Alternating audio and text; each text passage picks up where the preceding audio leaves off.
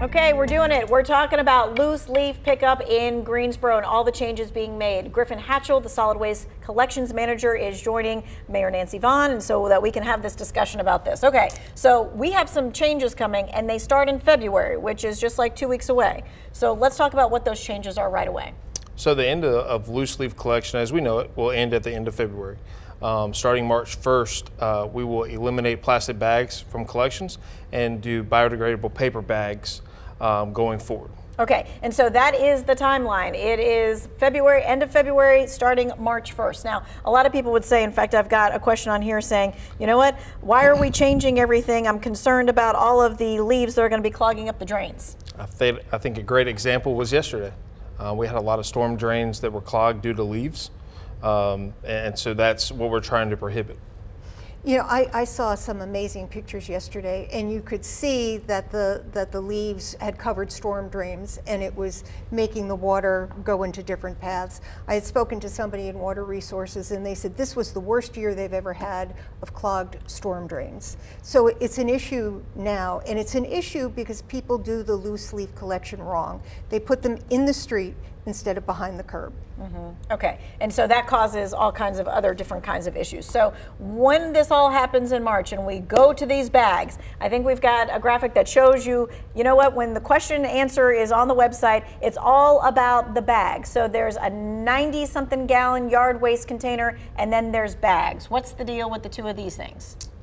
So the 95 gallon uh, container will be issued mid-May and will be completed by the end of June. Mm-hmm. Um, it's just like your regular um, refuge or recycled container that you have now at all the single-family homes. Um, so it's going to be gray. The bags we ask for um, biodegradable paper bags. They break down. I understand that people are concerned about being wet. Okay. Um, they do hold up. Um, we've tested that. Um, seven days of dumping water on them, and uh, they withheld all of the what we put them through. Okay, so and it's a paper bag. Yes. And that's very specific because mm-hmm. uh, there's lots of other biodegradable kind of bags. Yes, there are. So you have biodegradable plastic and you have biodegradable paper.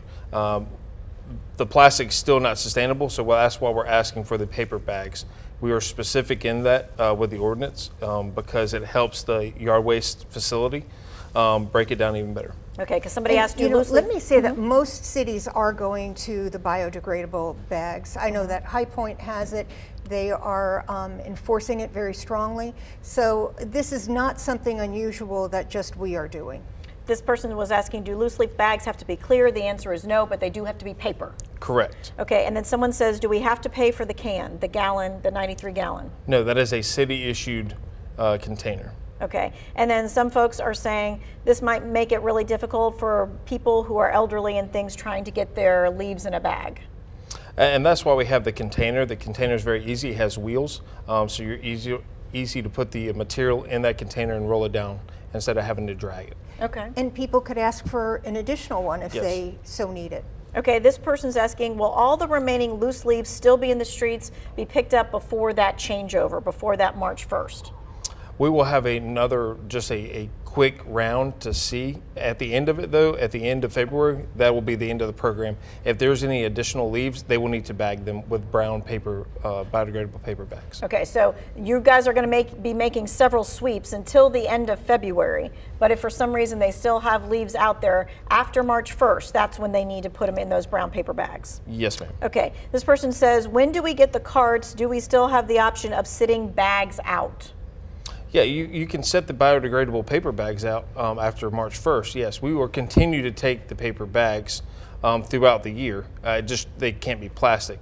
Um, the yard waste container will be issued, be out for distribution um, mid-May, mm-hmm. and should be completed by everyone should have one by the end of June. Okay, and if you have a container and you have bags, do you put like leaves in the bags and put the bag in the container, or you want to leave that out? So, so we ask that you use the bags first. Any overflow be placed in the uh, biodegradable paper bags.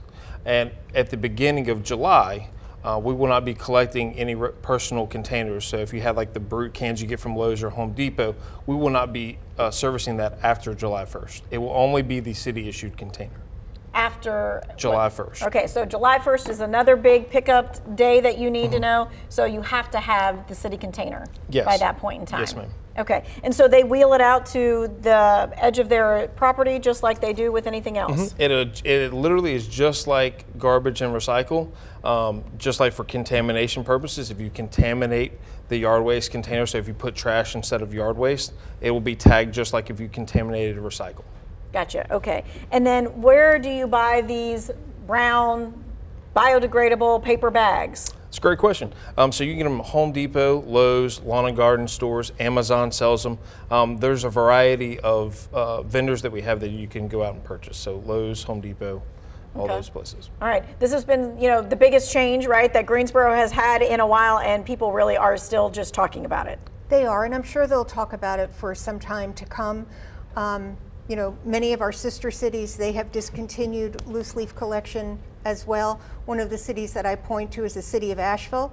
And, you know, that's kind of known as the city of leaves. And years ago, they did away with the, they call them the sucker trucks.